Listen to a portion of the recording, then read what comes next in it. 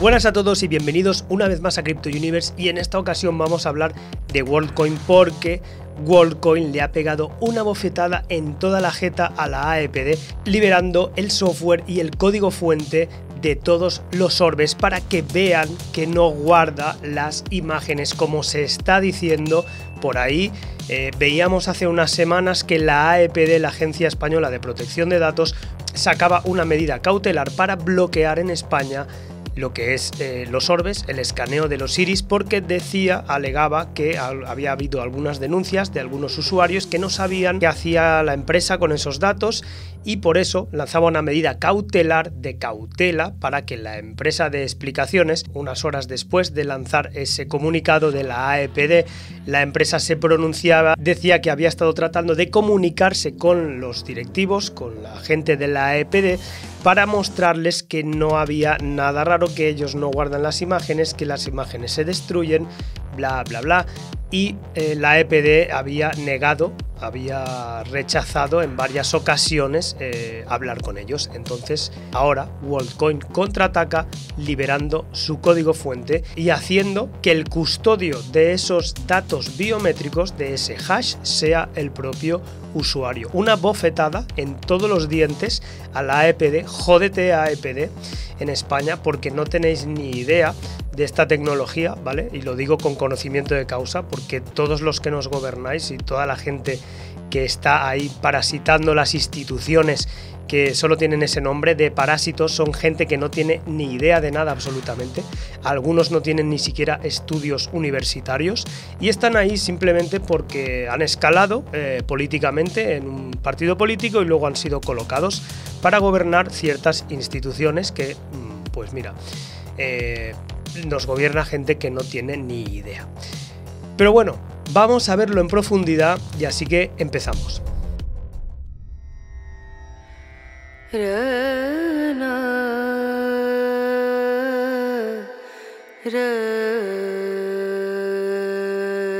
WorldCoin pondrá fin al almacenamiento de datos personales de sus 4,5 millones de usuarios para resolver los problemas de privacidad. 4,5 millones de usuarios que es una barbaridad. Y bueno, antes que nada quiero pedirte que te suscribas al canal, que dejes un like, deja un comentario y pásate por nuestro grupo de Telegram. WorldCoin se dispone a implantar el autoalojamiento de datos personales para sus usuarios a través de la custodia personal dentro de las aplicaciones. O sea, eh, ahora en vez de estar custodiados por la empresa mm, que tiene una seguridad eh, brutal porque es OpenAI, va a estar custodiado por el móvil de cada persona. Evidentemente, pues si lo pierdes, estás jodido.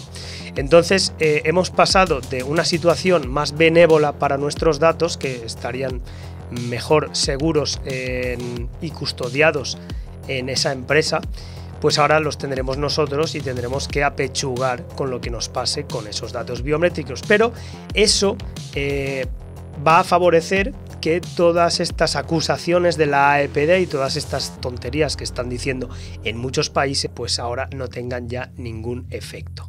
La información, incluidas imágenes, metadatos y datos derivados generados por el orbe de WorldCoin, se guardará en los dispositivos de los usuarios. La cotización de WorldCoin subió casi un 5% tras el anuncio del viernes. Esto fue el viernes 22 de marzo. Sí que es verdad que subió un poco, pero no ha subido tanto como debería haber subido porque el mercado tampoco acompaña. Ahora luego vamos a ver cómo está el gráfico y, el análisis, pero vamos a terminar primero con esto. En su actualización del blog del viernes, el proyecto dijo que durante la verificación del Word ID, el orbe procesará las imágenes localmente en el dispositivo y la transferirá a la custodia del usuario, es decir, el algoritmo genera un hash de tu iris, esa imagen se destruye, como ya se dijo mil veces, pero ese hash va a pasar directamente a ser custodiado por la aplicación de cada usuario que enviará a tu aplicación. Entonces ese hash va a estar en custodia dentro de la cadena de bloques, pero dentro de tu aplicación. Tú vas a ser el responsable de esa información. Así que eh, está bien y no está bien porque, mm, vale, antes ellos eh, iban a custodiar esos datos con su seguridad, ¿vale? Con la seguridad de una empresa como OpenAI, que seguramente tenga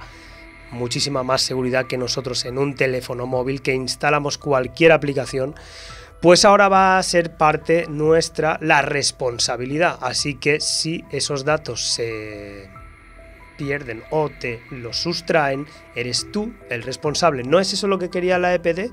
Pues ya tenemos eso. Que vale, no me parece justo porque podría mm, haber una pestaña en la que yo elijo que los datos los custodie yo o me los custodie la empresa porque yo querría que eh, los datos me los custodiara la empresa de OpenAI que no sé si eso lo van a implementar, van a poner alguna pestaña para elegir, pero bueno, de todas formas es un avance y esto seguramente va a hacer que esa medida cautelar sea levantada lo más rápido posible.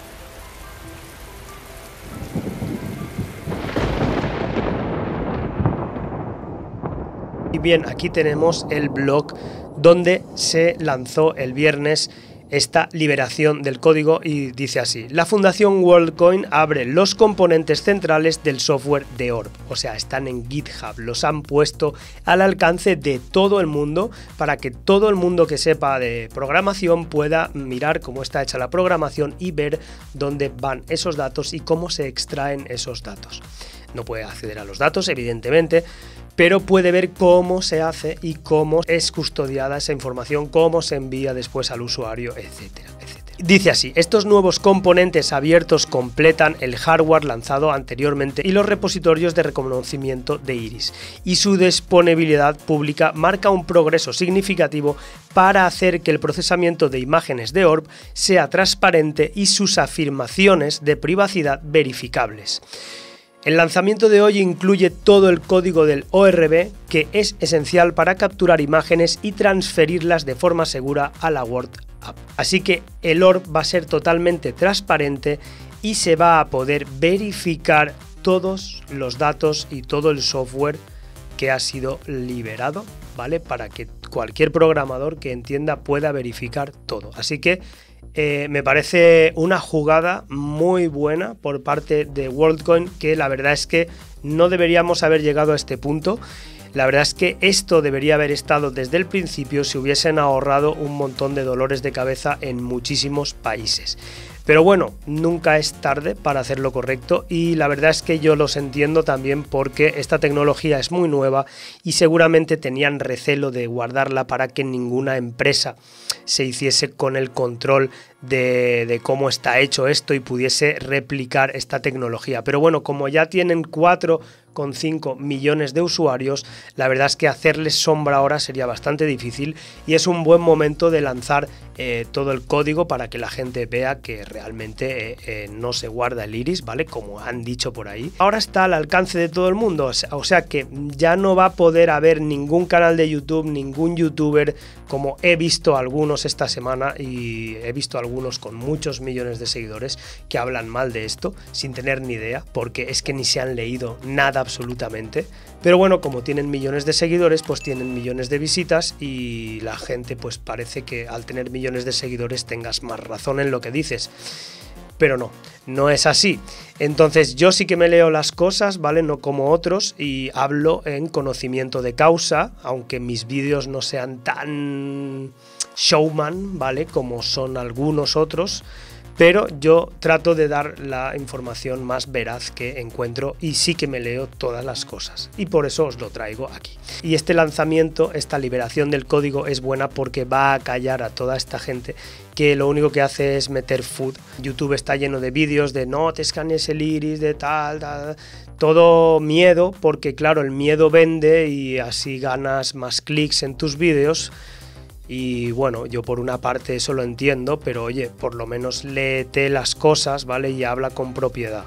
Y aquí nos dice, Privacidad. Durante la verificación de Word ID, el ORB debe procesar las imágenes localmente en el dispositivo, o sea, dentro del ORB, y luego transferirlas de forma segura a la custodia del usuario. Esto elimina cualquier requisito de almacenar imágenes en el ORB o cargarlas en un servidor central para su procesamiento. O sea, antes lo que hacía el ORB es que eh, mantenía la imagen dentro del ORB en una especie de servidor central donde se procesaba esa imagen, luego se recibía el código hash y esa imagen se destruía. Ahora lo que va a hacer el orb es que el mismo orb, al escanearte el iris, esa imagen se procesará dentro del orb, te enviará a ti la custodia de ese hash y esa imagen se destruirá dentro del orb. ¿Vale? O sea, esa no pasará eh, a internet, no habrá ningún servidor eh, donde esté albergada esa imagen durante el procesamiento porque podría ser objetivo de, por ejemplo, de que algún hacker se hiciese con esa imagen. Entonces, eso es un avance. Y ahora en el segundo punto nos dice, el protocolo de WorldCoin espera que ORB solo verifique las identificaciones mundiales de humanos genuinos. Esto significa que el ORB debe ser altamente resistente a la suplantación de identidad y a la manipulación, incluso en entornos adversos. Los dispositivos modificados o falsificados deben ser rechazados por el protocolo. O sea, el protocolo lo que hace es verificar que cada orb sea auténtico, con que sea genuino, eh, con un código de verificación y si detecta que es un orb fraudulento, el orb no verificaría al humano. Luego nos dice 3. Transparencia y verificabilidad. El ORB debe diseñarse para requerir una confianza mínima en sus fabricantes y operadores. Debe haber una manera para que el público audite ORBs, incluida la verificación del estado de software y las claves criptográficas. Consulte la sección del documento técnico correspondiente, bla, bla, bla pues sí, que como está liberado, pues todo el mundo va a poder acceder al software del orb y va a verificar lo que exactamente hace el software del orb, ¿vale? Así que ya mm, se acaba toda esta tontería, ya se les acaba el chollo a todos los periódicos que están haciendo clickbait con las noticias y a todos los youtubers que hacen clickbait con eh, todo el food, ¿vale? Sobre esto, así que ya se os acabó el chollo. Bueno, y aquí nos explica un montón de detalles técnicos que yo no entiendo, es muy de, pues que usa un chip de Nvidia Hedson, no sé qué, un procesador ARM Cortex M4, bueno, es todo, eh, os lo dejo en la descripción para que lo veáis. Aquí hay un vídeo de YouTube de un programador que está explicando exactamente cómo funciona el software y lo que hace, ¿vale? Si queréis verlo, pues eh, le dais al enlace y le echáis un vistazo. Yo es que como no entiendo mucho de programación, eh, lo he visto por encima encima, pero tampoco sé de qué está hablando, la verdad. Un paso crítico para la privacidad es enviar datos individuales desde la aplicación ORB to Word para una función llamada custodia personal. Las personas pueden utilizar estos datos autocustodiados, por ejemplo, para la autenticación facial en la aplicación World App. De cara al futuro, esta característica también puede reducir la frecuencia con la que los usuarios necesitarán regresar a un orbe para volver a verificar su ID mundial. Esto es muy interesante y vamos a explicar exactamente de qué va. Sé que muchas personas en países como Argentina están escaneando a mendigos, a gente de la calle, homeless, por unos cuantos dólares y se quedan con sus cuentas. Eso me parece, la verdad, denigrante. Me parece que, que sí, que hay gente allí pasándolo mal en Argentina y pues mira, un modo de sacarse dinero es hacer estas cosas, pero oye, no lo hagas jodiendo a otra persona que necesita ese dinero más que tú seguramente, que vive en la calle y que por desconocimiento de todas estas tecnologías no tiene ni idea, no tampoco tiene celular, pues que sepas que vas a tener que reverificar a todos esos mendigos que tienes en tu app si quieres seguir cobrando ese dinero. Así que encontrar al mismo mendigo que verificaste para robarle ese dinero que era suyo, te va a ser bastante eh, difícil, no imposible, porque seguramente algunos conseguiréis encontrar al mismo mendigo que escaneasteis, pero la verdad es que se os va a poner difícil y me parece muy buena decisión por parte de eh, World ID reverificar a las personas dentro de, pues no sé, Digamos que cada año habrá que reverificar para que mm, no pase todo esto, porque de los 4 millones y medio que se han verificado, yo sé que en países como eh, fue como en Kenia o eh, como en Argentina, por ejemplo, y lo sé porque me lo han dicho, hay mucha gente que tiene más de 20, 30 cuentas en móviles y que se está quedando con todo ese dinero. Eso me parece, la verdad, eh, denigrante. Ya sé que muchos lo pasáis mal allí, tenéis que buscaros la vida como sea, yo eso lo entiendo. Pero justamente jodiendo a alguien que está peor que tú, que sí que necesitan el dinero porque están viviendo en la calle, la verdad es que no me parece algo justo. Y me parece una medida muy buena esto de reverificar a la gente porque así se va a acabar con toda esta especulación de gente que compra que se hace con bastantes celulares, con bastantes móviles y escanea a gente de la calle que no tiene ni idea de lo que está haciendo.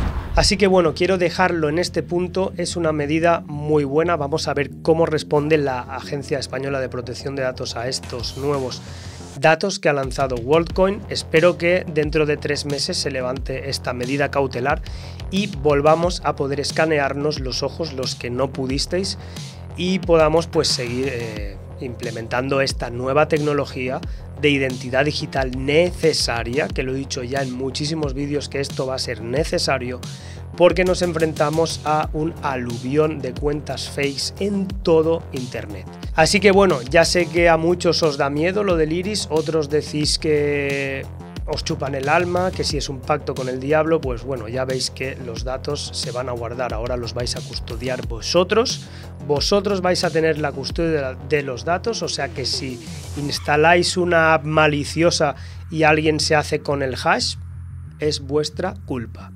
¿Vale? Hemos pasado a esta situación de que los datos estarían custodiados por OpenAI con toda la seguridad que puede tener una empresa que está detrás Microsoft de miles de millones de dólares, pues bueno, pues eh, se ha llegado a esta situación por presiones gubernamentales y pues ahora tendrás tú la custodia de tus datos. Así que ves con mucho cuidado de lo que instalas en tu móvil. Y bueno, sin hacer el vídeo más largo, hasta aquí el vídeo de hoy. Espero que te haya gustado, espero que te suscribas al canal, que dejes un like, que te pases por nuestro grupo de Telegram y lo que digo siempre, sed buenos, sed felices, invertid con cabeza y nos vemos en un próximo vídeo, así que hasta la próxima.